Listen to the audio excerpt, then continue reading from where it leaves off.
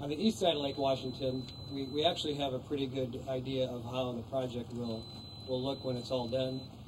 The, the legislature helped us this past session uh, by establishing the six lane alternative as the one we should advance. So across the middle of the lake here, we would have uh, three lanes in each direction, two for general purpose traffic, one HOV, and a, a bike pedestrian path.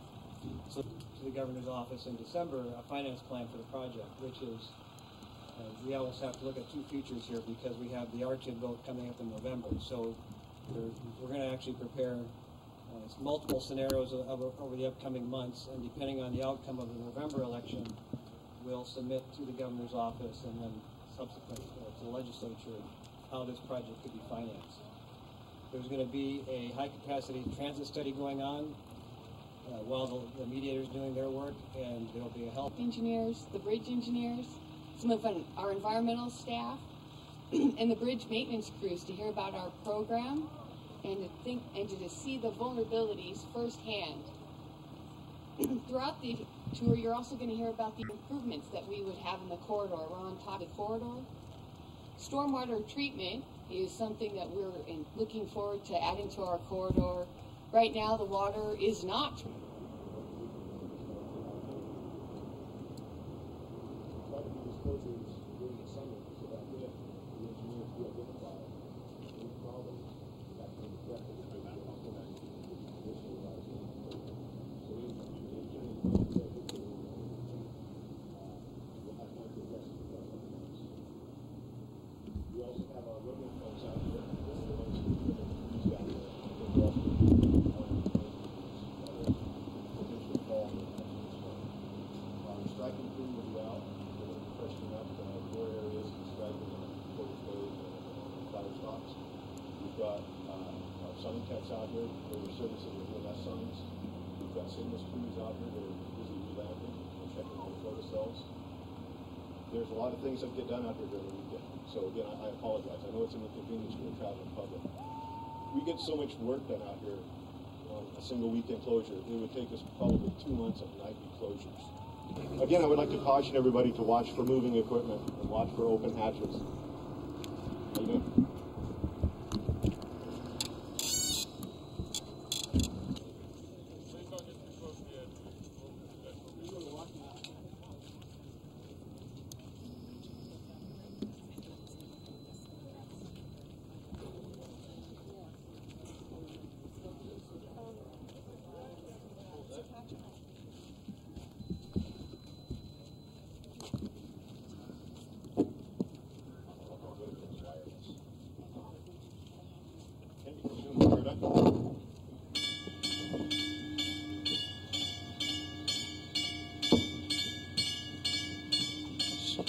Typical opening out here, when there's no vessel passing through, will take about 17 minutes.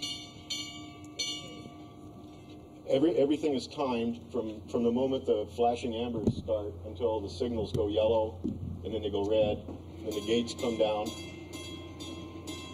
We do the oncoming gates first, and then the off-going gates.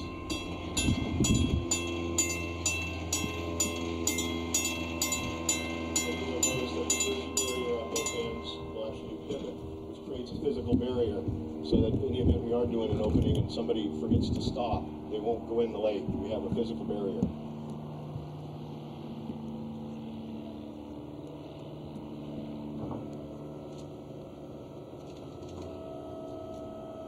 Pieces of equipment like this barrier are something that we can only service when there's no traffic out here. We do come out once a month, the second Thursday of every month, and we do a series of maintenance openings. And that gives us an opportunity to at least lube some things and change some lights and exercise the equipment. But for the most part, uh, these summer closures, this is when we get the full service.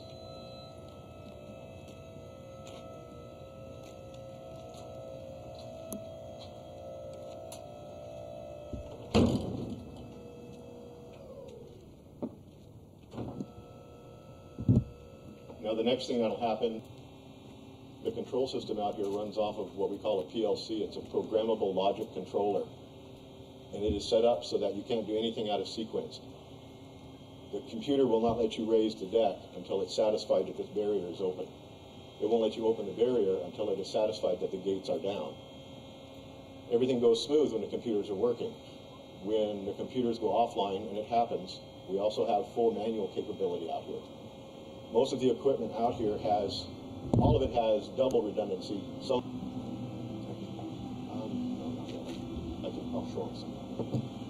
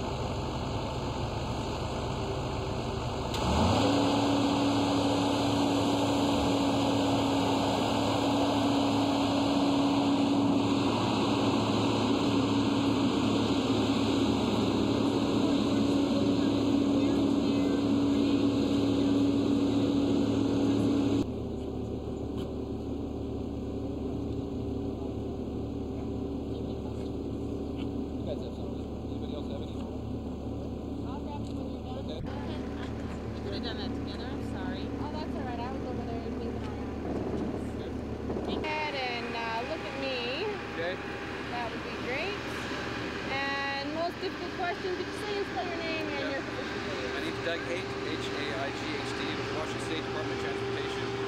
I'm a construction project engineer for this SR 520 quieter pavement project here in Savannah, by uh, So you got a whole bunch of people out here doing a whole bunch of stuff. What are they doing? What we're doing is we're doing a, uh, doing a uh, test section, experimental test, putting down the, the asphalt mix of quieter pavement. What that entails is we have three different mixes. A standard mix, the stuff that we're driving on right now, it's a standard mix. We have two other mixes. One is a uh, fiber, has fiber in it. Another one has crumb rubber in it. And what we're going to do is put those three down, those sections down, in a long enough lengths, 2,600 feet, so that we can take noise readings over the next five years and compare the standard mix versus the fiber mix versus the rubber mix. We need about five years to be able to tell longevity, you know, is it to wear out? Are the studs on the tires going to affect it at all? Is it going to stay down for five years? Or does it make any difference at all? Or does it make a huge amount of difference? And there'll be an engineering study versus uh, people's opinions, so we'll be able to have actual numbers. This is the second of three locations. The first location was southbound I-5 in Lynnwood. That's already been down. Paved, put, paved down uh, last year. This is the one this year, and then next year we'll put some down on 405. I think is the schedule.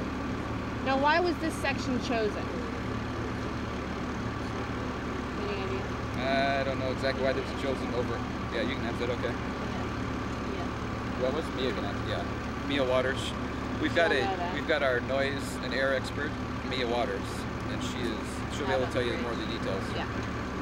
So, um, why did this come about? Why did the uh, no, uh, less noisy asphalt uh, piqued the interest of Washington State Department of Transportation? Why are we trying it out? Where did all that come from?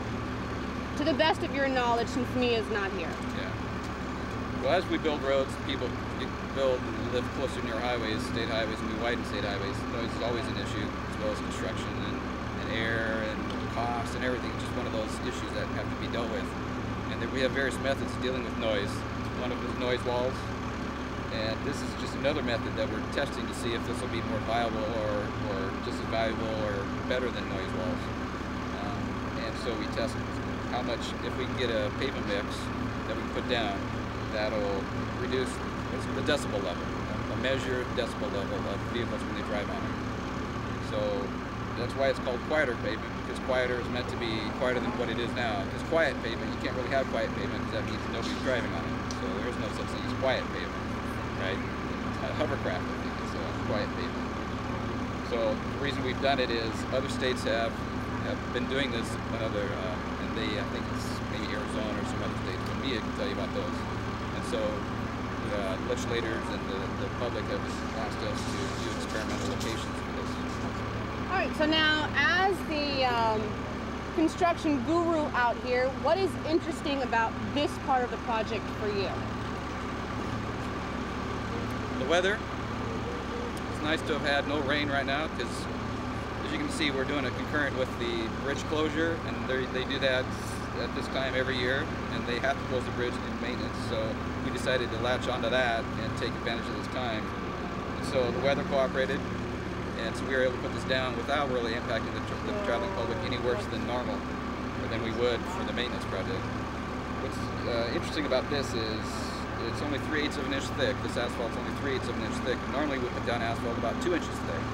So this is really thin, and it's it goes very quick, very fast. We'll be able to get it all down in the weekend, hopefully. Um, so it's just essentially a standard paving project with a different type of mix. And as you can see in the samples we've given you, there really is no, you really can't tell. There's no secret to the to the mix. There's no, it doesn't look any different than standard than what we got here, what you drive on now. Now, something uh, was mentioned earlier about the stickiness of this asphalt and how paving it is a little bit different than uh, paving your regular old loud asphalt. What can you tell me about that? Well, it's a different type of mix, and so you have different types of oil, different types of rock, and then the two different mixes. One has fiber added, one has crumb rubber, and so they all react a little differently, respond a little bit differently to weather and being placed. So, but once it gets to cool off, it's to, uh, to the right temperature, it's just it's going to react just like the regular asphalt that we're driving on. So people aren't going to be able to notice the difference between regular asphalt this for a while. They might notice it's quieter. They might, but we're not going to go with opinions. We want to go with actual readings over a five-year period, so we can use facts rather than opinions. Now, I'm seeing a lot of white foam coming out of the back of these um, pavers here. I was told that's detergent. Is that because of the stickiness, or do you know anything about that? Yeah, the type of oil used on this, and the crumb rubber, for example, can can once it's melted, it can stick to the rollers on the on the roller machines. And so they use just a little bit of soap. Found soap works really well to keep it from sticking because you want to roll the asphalt, but you don't want it to roll it up, you know, like a carpet. You want to roll it up like carpet. You just want it to stay down. So they're using a little bit of soap. So we had to do some special environmental features to make sure that the soap wasn't of issue. Great. So do we want to show Do you these? want to talk about the stuff you put in to make it quieter? They can see it in You'll your see, hands. you can, you can see this down when you talk to Mia too, but this I'm gonna hold stuff right here, nice and high. stuff right there. This is what's called the crumb rubber that's being added. Actually, if you want to hold it like kind of close to your face, sort of, that's perfect. This is the crumb rubber that they're going to add to the asphalt mix. That's what we call the rubber pavement. This is a sample that's being added to the fiber, the fiber asphalt. These are the two asp- fiber asphalts we're putting down, and then in the middle of them, in a section, we're putting down regular asphalt, normal stuff that we drive on. How much quieter is it than That's you can ask Mia. She's got some readings from. She might have some readings from last year from Lynnwood, because they've had some down for a while. She might have readings for you. is it more expensive? It is. It's definitely not quieter on the on the on the pocketbook. But we apply less. So It's three eighths of an inch thick, but it's quite a bit more expensive. And we don't know if that's because it's always going to be that more more expensive, or because it's a new thing, or what. So that's part of the process to decide if it's is this really quieter, and if it's that much quieter, how much more it costs. So you're kind of an experimental. It's a very experimental stage. That's why it's five years long. We do it three locations in the on the uh, uh, west side here of the mountains. So we'll be able to te- test for uh, longevity, s- uh, studded tires, weather, placement, and get some actual facts out of it. I think I'm good unless you want some more stuff. Oh, that's perfect.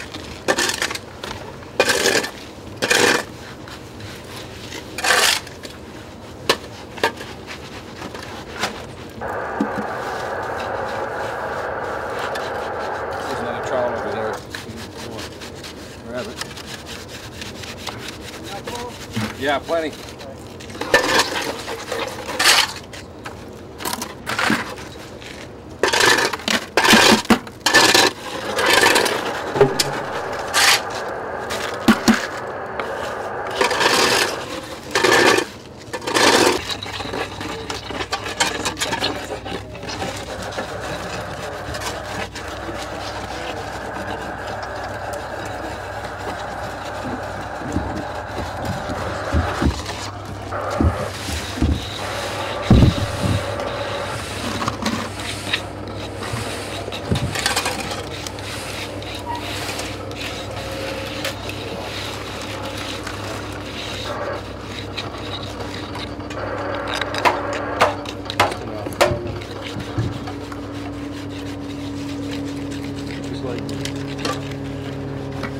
Doing here? uh, repairing a crack uh, by the storm.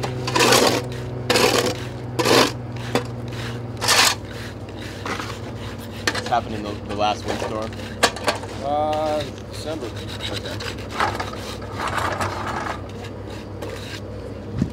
It hit the wall and, and fractured, put a good fracture in, in the barrier. So this is a, one of the repairs of the storm damage. They they jackhammered out all the, the broken concrete and have formed it and poured it. This is just another illustration, is it, of just how old this bridge is, or is that just like, or what, we need a new design, or? Um, the, the bridge, this design on the bridge does uh, lend itself to having this type of damage. The new bridge will be raised up, won't have this, this type of wall, and um, debris from the from the lake will be able just to go right over the pontoons. You know, what's interesting is that with all this high-tech stuff, we're looking at elevated barges and all this stuff, and we're just repairing a wall. you know, so there's a lot of low-tech stuff going on here too. Oh yeah, but, it, but it's all meaningful work that really does need to, to get done. And this is a safety issue um, because this, this wall not only um, you know it protects the drivers from going through and out into the lake. Big. It, it- it's a huge, huge. What are we finding so far? Well, uh, so far that you've been out here. Uh, Well, it's early in the inspection, so um, right now we're just getting started. Uh, uh, the inspectors are, have just started to look, and right now we're just making all our repairs. We're right on schedule with those those repairs, and, and the inspectors are, are um, still looking. And uh, how much longer do you think this bridge is going to last? Can't make that prediction. No. Tell me about the span and how you said, I think, no, I think it was Archie said, never mind. So about how we like it, but we want to get rid of it. Oh yeah, you know you, you love to hate it. Um, you know it's a it's a fun place to work. It, it gives our guys uh, um, a lot of work. They, they love doing uh, the mechanical, electrical work, um, and and I think they've done a good job holding it together. Great. Could you say your name and spell it? Rick Rodda, R-O-D-D-A, And title. Assistant Superintendent Bridge Maintenance. Yes. Rick, uh, how old is this bridge? This is what? Uh, 40 years old. So if this bridge could talk, it'd uh, have some stories to tell. What, what would, uh, what would this bridge have to talk about? Oh, you know, I, I don't know. I think it would, uh, you know, talk about some of the big, the high winds and, uh, um, I don't know. I mean, it, it used to rock and roll. Is it you a tired bridge? I think it is. I, I think it's tired. Uh, I, uh, I think the engineers have done a lot to, to try to hold it together um, with their, um, you know, updates and modernizing it. But the, the structure itself is old, and um, you can only do so much with that. But you keep on plugging. We do, and we love it.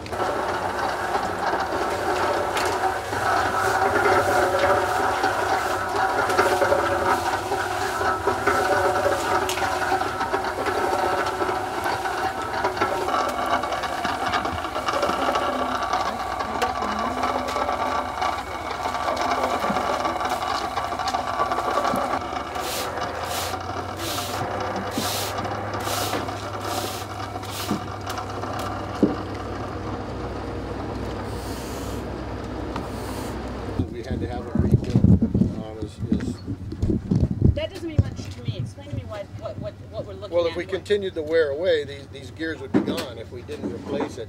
So you start to have a lot of slop, um, and eventually they won't even turn. There, there won't be enough face um, on, on each of these teeth uh, to, to grab the rest of the, the gearbox to make it turn to open the draw.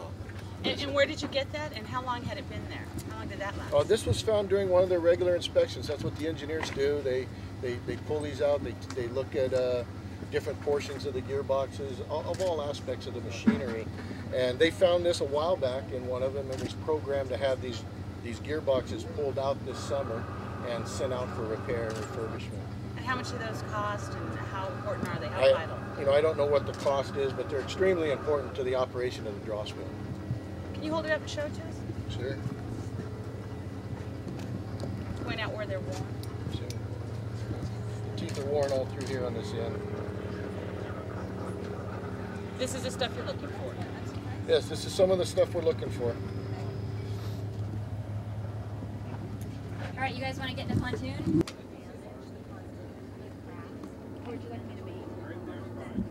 Okay. Do you have any desire to get Absolutely. Feel free to ask any questions. All right. What are they? Is that what the? Okay. First of all, can you say and spell your name? Here we go. Go ahead. Keep it on there. Uh, my name is Mia Waters. M I A W A T E R S. I ask this of everybody. Would you mind taking off your sunglasses? You want to keep them on? It's fine if you want to. I might be really squinty without them. what do you think, Ron? Yes.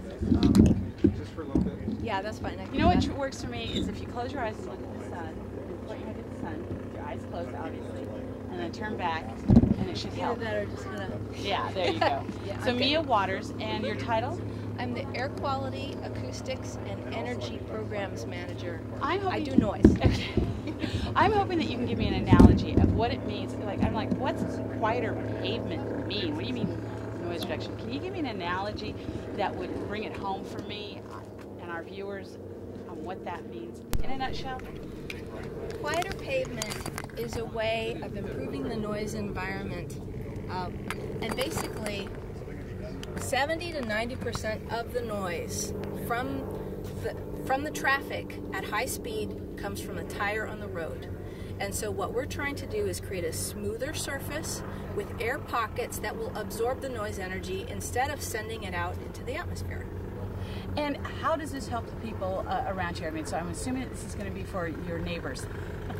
Yes, indeed. For all of our neighbors in Puget Sound, this is meant to uh, help them eh, be more, uh, have a more soothing experience as well. Because there are two things about noise that we pay attention to. The first is the total noise energy, the decibels that you hear.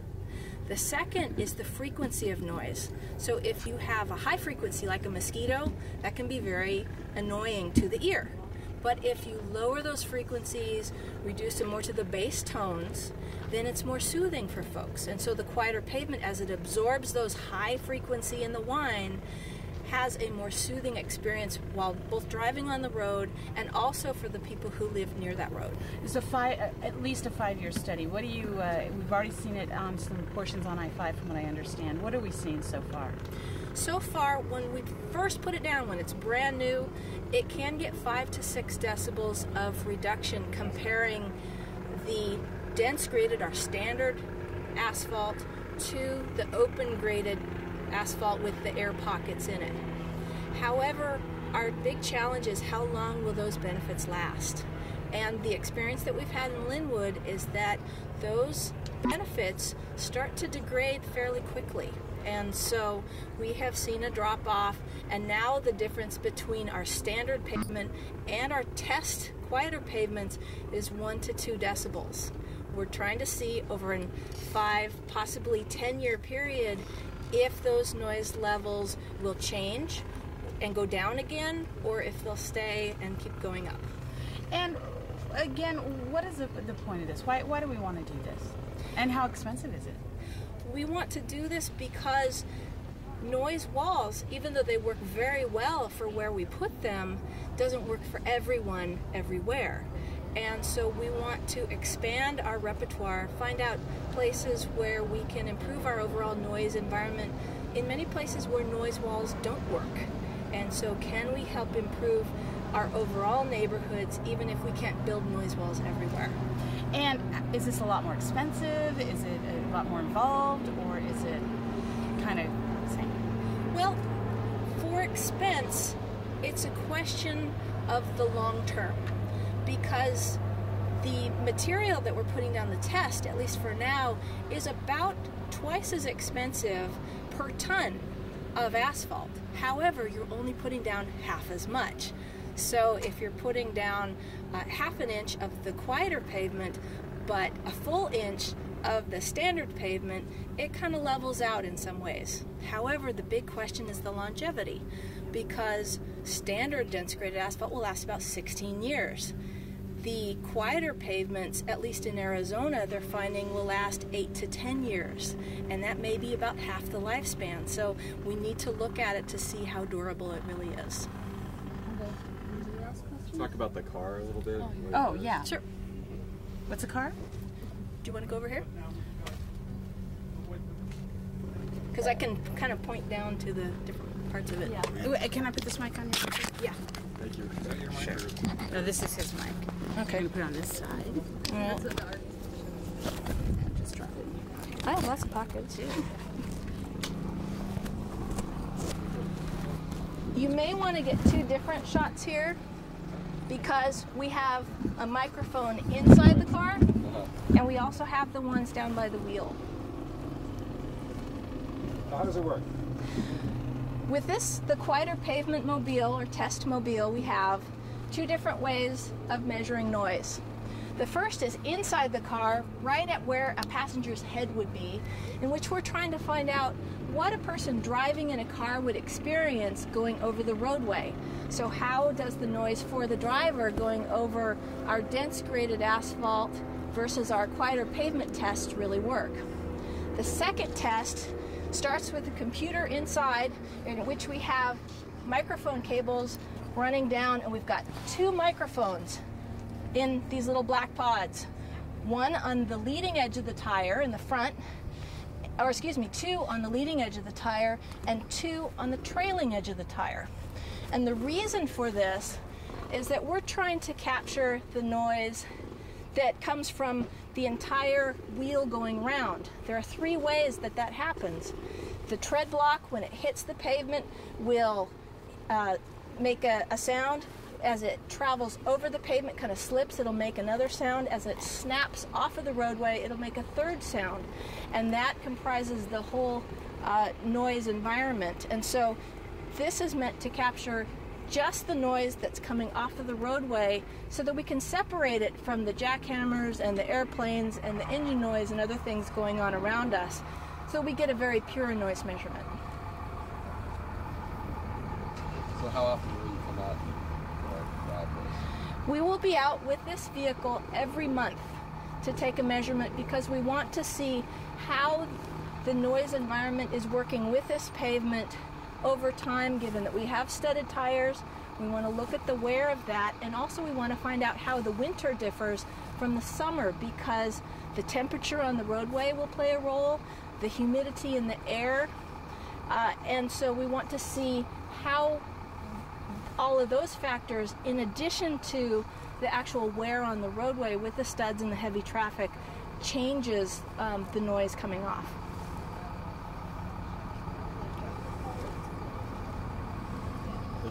All right. What's your name? Mia Waters. And what's your title?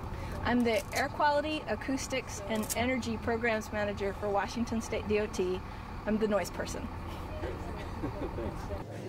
Mechanisms that they have to carry over is strong. She went Really? We uh, pretty scary, scary stuff. Yourself.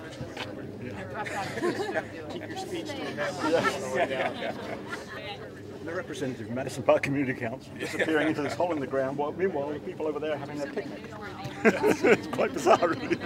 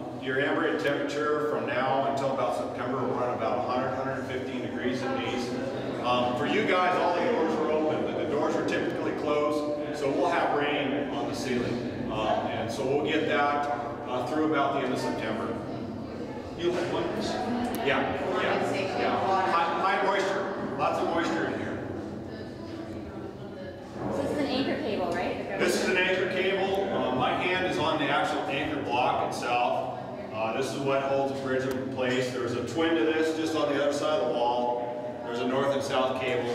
These ones run about 500 feet. They're running at 65 tons of pressure on them right now. On the north side, one on the south side, there's approximately 58 cables.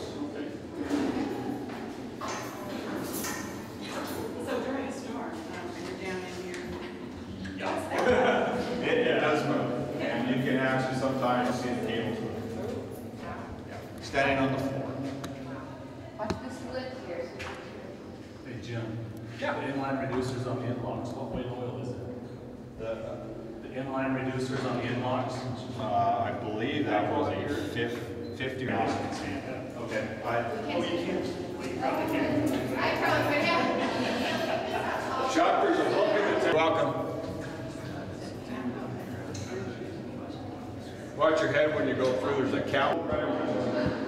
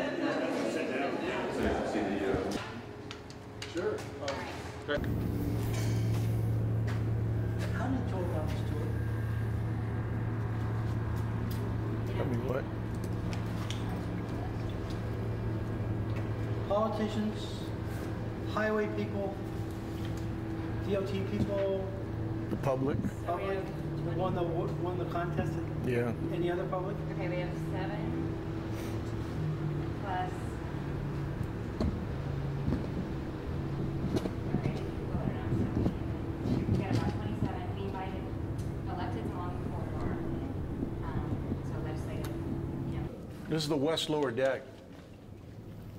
And this is similar to what the new bridge would look like with a raised um, deck. So as we get further down, it, it, it, it really does simulate it. Uh, the pontoons will be similar to this. Uh, large waves will be able to come over without a barrier and can go right across the, the pontoon. And the roadway will be higher up and won't be affected by waves, wind action, and, and that sort of thing. Um, without a draw span, the, the bridge will be able to handle uh, 90 some mile an hour winds. Um, so our regular storms of probably 40 miles an hour um, shouldn't affect this bridge hardly at all. The, the new the new bridge. On on this bridge, I mean it, it's an ol older structure, and if you see see the light concrete there, that's where there used to be a concrete barrier along here. You can see up how high it was. The water used to come over here and flood and would actually be like a swimming pool in here. Um, so there were, the first time when, it, when this started, they, they cut sections out to let, so the water would drain off. But when they went to put the post-tensioning on the bridge, The, the bridge is already, let me go back, the bridge is already about seven inches lower in the water today than when it was built. So whenever they do or upgrade on this structure, they have to take the same amount of weight off. They can't put any more weight on it. So they look every time they want to do something, they have to figure out how to remove stuff, remove weight. So cutting all the concrete barrier off around and putting up cable barrier was one of their options and one of the ways they, they removed weight from the deck. So it's seven inches lower because you've added weight. Correct. It's not because the. We, we have overlay, we have, uh, you know, the, the deck's been overlaid, um, all the post-tensioning. Um, there's a number of things, all these hatches are different. We've added uh, pumping ports, all these pipes that come out. They're all pumping ports that go down to uh, the different uh, cells. So if we were to have a catastrophic failure, a hole where the bridge was to take on water, we have pumps that we come up. We we have a we know what cell it's uh, we're taking on water. We can just plug right into them, and and start pumping out. So all these things that had added weight to the bridge um, keeps getting it lower in the water, so uh, they have to remove weight. The- These hatches are much heavier than the original. The original hatches leaked, so um, they, they weren't worth trying to refurbish, so these are a much more secure, uh, watertight hatch. Yes? Water non-treatment system right here. Yeah, these, uh, all, all the roadway drains, they're, they're pretty much undersized up there and plugged right away from just regular debris on the bridge. But right now, all, all the water that lands on the bridge goes untreated straight into the lake. Um, But if the bridge was here, we'd do that anyhow. Pardon me? If the bridge wasn't here, the water would come in. Yeah, but, but it wouldn't take all the sediment, all the dirt that, that's, that collects on the roadway just from regular traffic. It's, it's, it's taking that and, and pumping it right into the lake. We have no way of filtering it or catching it. Um, the new, the new bridge would filter that. I believe it'll run it off the bridge, but I have to ask Patrick Clark. There's, um, yes, it'll run some of it off the bridge where it'll be treated. But there's also some, we're working on some pier treatment systems, so there'll be like a, uh, filtering wetland that's built around the piers, so the water will percolate through. So right now, the salmon and everything are getting a snout full of copper or whatever happens to be on the bridge, but the new bridge, the water will be treated, so it'll be better for fish. You keep saying copper. Where's the copper coming from? I think it comes from. Um, I think it, it's just something that co- it comes from exhaust and just. I don't know. Do you know? Yeah, it's it- part, I- it's part of the It- emissions. Part of the emissions. I, I also know that these are old galvanized pipes, and some of the testing we've done shows zinc going into the water. I think what they, um, when they've done the testing, I believe they found a lot of zinc going in, and the old galvanizing off of these um, is slowly um, going into the lake. I, how it does it, you know, and how it's wearing, I, I don't, I don't understand that. And I don't, I don't believe they put galvanized pipes like this directly into water anymore. I, if you want to know we've got Fairmount Volcano all about it. So the bridge is. What, what happened there was it was in the middle of construction. They were hydro demolishing the sidewalks and the deck. So there was no sidewalk or deck on the old I-90. Those had sidewalks across it that were unprotected. So those were all off, rebar was exposed, and you could see right into the deck, or into the on pontoon. Um, at the same time, the new hatches, so we wouldn't be up on the roadway, they were putting hatches in the side of the bridge, watertight hatches. So they had cut holes already in the bridge. The contractor had cut holes in it. And then we got the storm, the rain, um, you know, started coming. The, they, had, they had it tarp, but it was still going in, and the bridge kept getting lower in the water. The other side of that is they were also storing all their hydro demolishing water in there. The- This is a lower deck. We're, we're standing on the top of a pontoon. So if we were out there where we were before, the roadway is on here. Right now, this is just coming off the high rise. Right. So we're looking at what, how many feet here about? Um, probably 30 feet there. And the new bridge, are- they're projecting how high will it be off the pontoon? Um, I don't. I know that the clearances, I believe, are going to be 70 feet, but I don't know this deck here. It's going to be able to let a 70-foot vessel go under the under a high rise, I believe. But I don't know how high the roadway is. I, I don't know how high the roadway will be. Sure. It probably is all in there, but there's, you know, they hand you that thing with all the information? Old type uh, expansion joint um, where the column goes up and it's a split column. So halfway up it splits. It's just an old-fashioned uh, expansion joint that they don't use anymore. And, um, but there was signs of cracking um, there where it goes into one. So those are um, just some ties that to hold it together. We're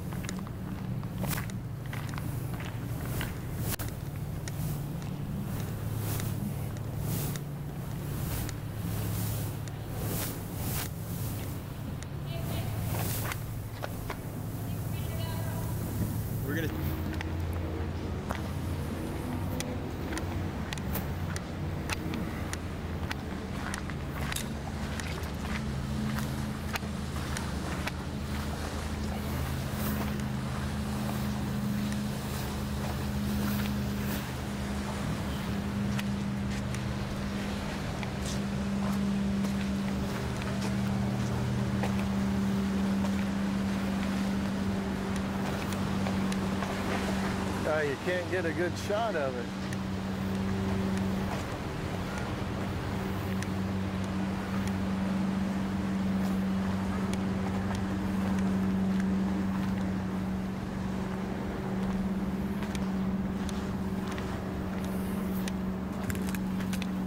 Man.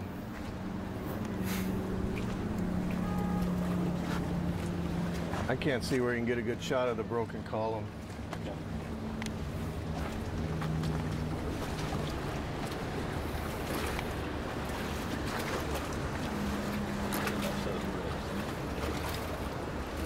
This is where um, tugboat came through, was, was really aiming for the Montlake Cut.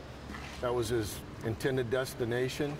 Um, missed its turn, um, came through here, hit the columns, and um, took out one of the far east columns there, they, um, or uh, south column, um, and fractured it uh, with a, you know, tugboat just shattered it. Uh, it was hollow, and we had to close uh, that eastbound lane. Um, I can't remember for how many weeks um, while a, a repair was made on it. Um, but all these columns here are, are vulnerable with, you know, being hollow and easy, easyable to fracture in an earthquake.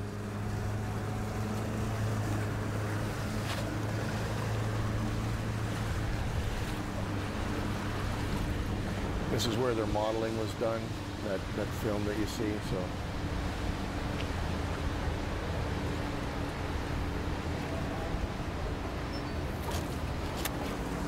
Okay.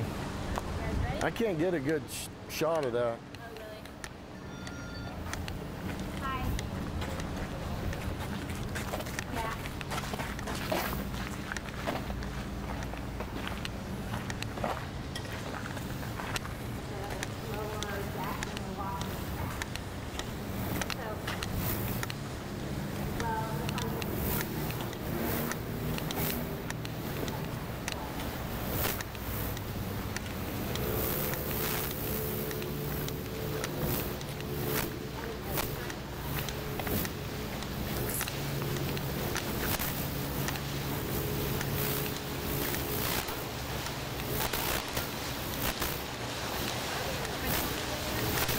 Yes, the, the 15 passenger. It was, yeah, we got the 15 passes.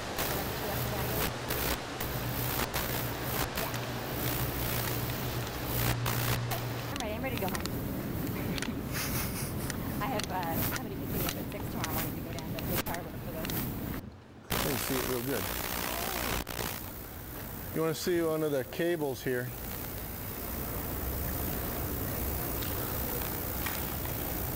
This is what the anchor cables look like. They go out. These are the shorter cables on the end.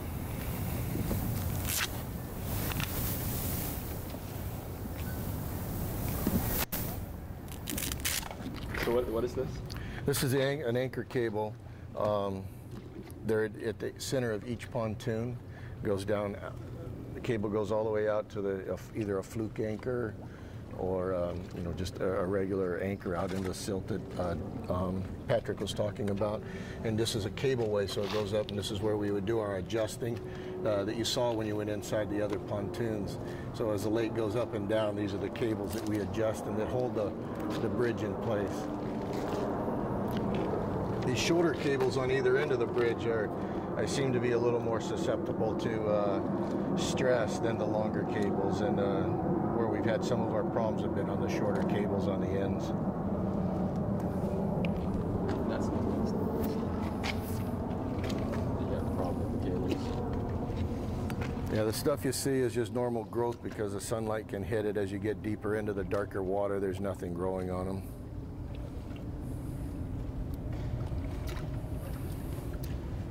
Our pumping equipment for the lower deck, those large trailers with pump out equipment. So if there is a problem, it's already here. We can roll it to whatever pontoon we need, hook up, and uh, get it get the cell pumped out.